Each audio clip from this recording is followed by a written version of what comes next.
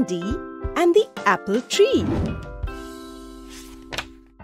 One quiet morning, Andy the alligator was sitting by the river after chopping some firewood. Andy was hungry and wanted some fresh fruit to eat. He decided to go looking for an apple tree.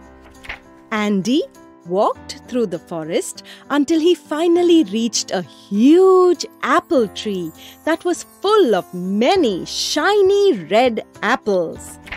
He did not know that this tree was home to Alice the squirrel, an army of ants, and many other animals. First, Andy tried climbing the tree.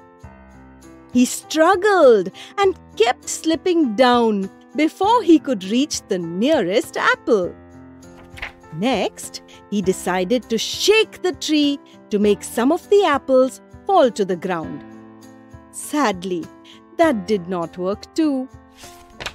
Alice the squirrel was happily munching on a juicy apple when she felt the tree shake. She looked outside and saw Andy stomping around angrily. Alice and her friends, the ants, started to watch Andy to see what he would do next.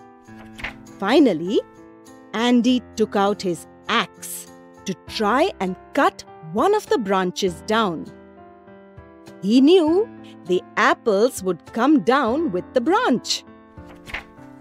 Just as he was about to swing his axe, he suddenly heard a sound.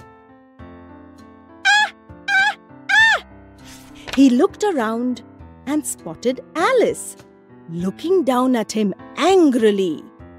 Why are you destroying our home? screeched Alice. Meanwhile, the angry ants marched towards Andy and started climbing up his pants.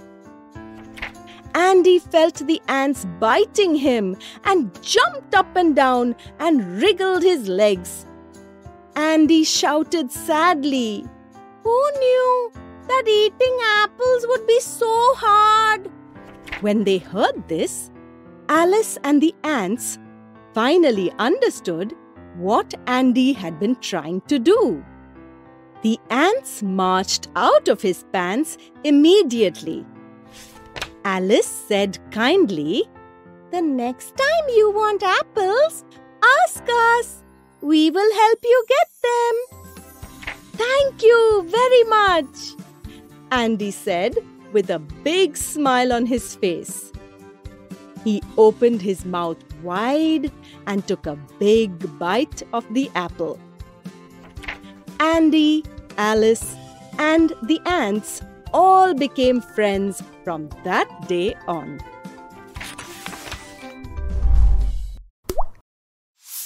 Subscribe to Vedantu Early Learning.